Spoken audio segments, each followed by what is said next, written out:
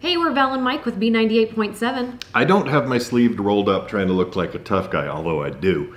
There's actually a reason behind it. This is our weekly challenge. And you should not try this at home. Or at work.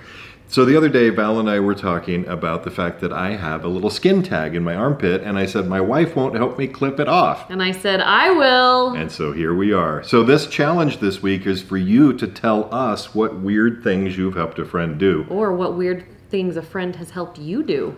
I bet if you're a mom, you've done some weird things. Yeah. All right, here we All go. Okay. So we're gonna ice it up first. Do you want to pull it down and show them like what it looks Okay, here it is. Here's the close up. I can't believe I'm showing this. So disgusting. So we did a little research, and skin tags are just something that happens when you get older. Are you going to clip it right now? I'm putting some Oh, ice on okay.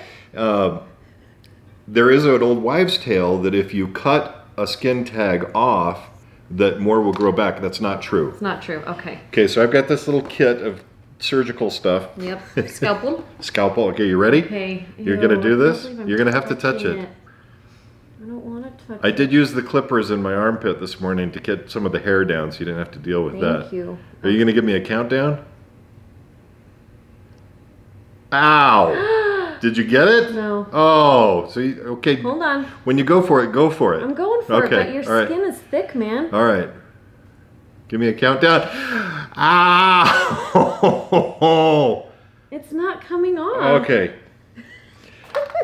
I guess we got to try the scissors. Did you just, did you like Yes! clamp? Oh, Yes. okay. All right. Skin's just thick, man. All right. All this right. is one of the weirder things I've ever done in my life.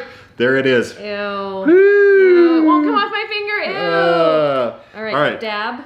So now the challenge is for you to tell us below what weird things you've asked a friend to do for you, or, Or you've you, had done. Or yeah. Or And maybe even your kids. You pulled a pinto bean out of your daughter's nose. Yeah. What weird things have you done for somebody else, like clipping their skin tag off? Go ahead and comment below. You can take this home. I don't want that.